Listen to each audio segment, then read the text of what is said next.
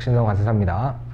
음, 이제 문제풀이 관세법 1차 문제풀이 강의를 시작하도록 할 텐데 아, 저희 강의는 이제 해설식으로 해서 어, 강의를 진행을 하도록 할 거예요. 그리고 교재에 있는 웬만한 모든 문제들을 웬만하면 다 저희가 풀어드리려고 하고 있습니다. 어, 그렇기 때문에 어, 강의를 이제 해설 듣는다라는 생각으로 강의를 들으시면 될 것 같고 음, 강의를 듣기에 앞서서 여러분들이 문제를 한 번씩 어, 스스로 풀어 보신 다음에 강의를 어, 들으셨으면 좋겠어요. 그리고 강의 들으시면서 여러분들이 틀린 문제가 있는 경우에는 어, 오답 노트 오답 노트는 반드시 작성을 하셔야 됩니다. 그리고 이제 혼자 스스로 문제 풀 때 제일 중요한 게 어, 저희가 40문제 관세법 40문제 나오고 이제 무역영어가 40문제 같은 거 이걸 1교시에 보잖아요. 총 80분이 줘야 됩니다. 80분. 80분인데 그러면은 뭐 한 문제당 1분인데 뭐 저희가 40분 잡고 관세법만 푼다고 생각해 봅시다. 그러면은 1분당 한 문제를 풀어야 되는 건데 어, 그렇게 되면 이제 마킹할 시간이 없게 되잖아요. 그렇기 때문에 한 문제당 적어도 한 30초에서 40초 정도 어, 사이에 어, 시간을 두고 푸셔야 돼요. 그러니까 여러분들 스스로 문제를 푸실 때 음, 이 시간을 스톱워치라든지 이런 걸 활용을 해가지고 시간을 좀 재시고 어, 문제를 푸세요. 그러면서 계속 빨리 푸는 연습을 조금 조금 하시길 바랍니다. 처음에야 무조, 물론 처음에는 힘드시겠지만 계속 다독하시다 보면은 쉬워요. 어, 얼마든지 푸실 수 있으니까 그렇게 준비를 해 주시면 좋겠습니다. 자, 그러면은 저희는 바로 어, 가, 어, 4페이지 총칙 부분부터 강의를 진행을 하도록 할 거예요. 듣기 전에 먼저 문제를 풀고 어, 이제 강의를 들으세요. 꼭.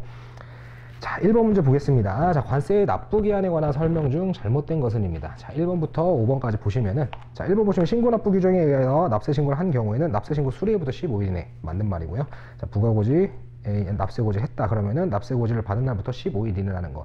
위, 위, 아래에 전부 다 15일 이내라는 거 체크를 해 두시고, 자, 수입신고 전 물품 발중 규정에 의해서 수입신고 전 즉시 반출 신고를 했다. 그러면은 수입신고일부터 10일, 15일 이내에 관세를 납부해야 됩니다. 여러분들이 이것도 이제 헷갈릴 수 있는데 수입신고 전에 물품 발출의 경우에는 자, 수입신고 했잖아요. 아, 아, 수입신고 전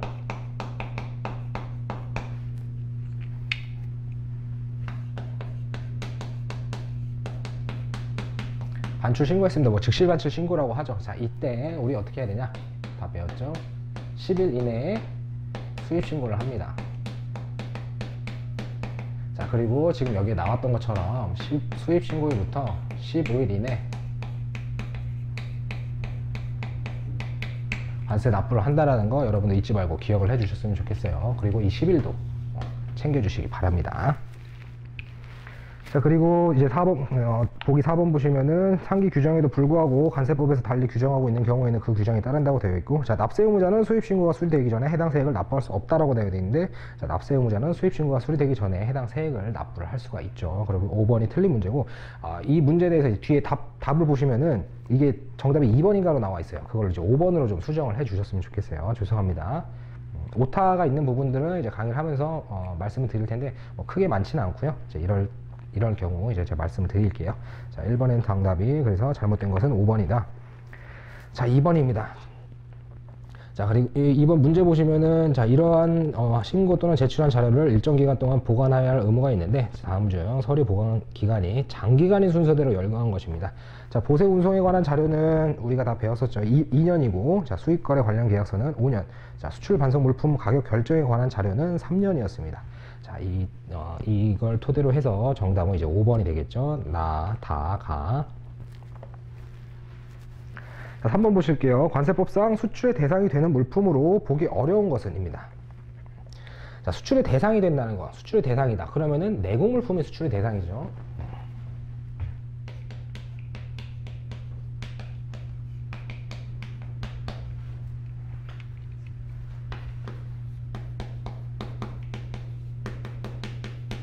자, 그럼 반대로 수입의 대상. 수입 신고 대상은 외국 물품이죠.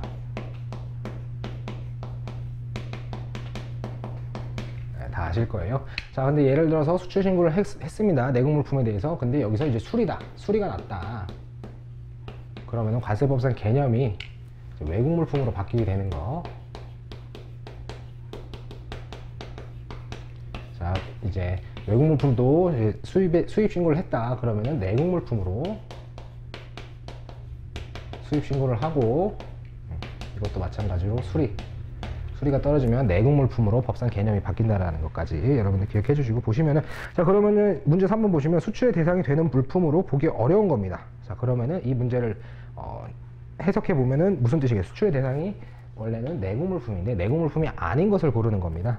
자 1번 보시면은 우리나라에 있는 물품으로서 외국 물품이 아니면 당연히 내국 물품이고 자 입항 전 수입 신고가 된 물품이 아니라 입항 전 수입 신고가 수리된 물품입니다. 수리가 되면 내국 물품이 되죠.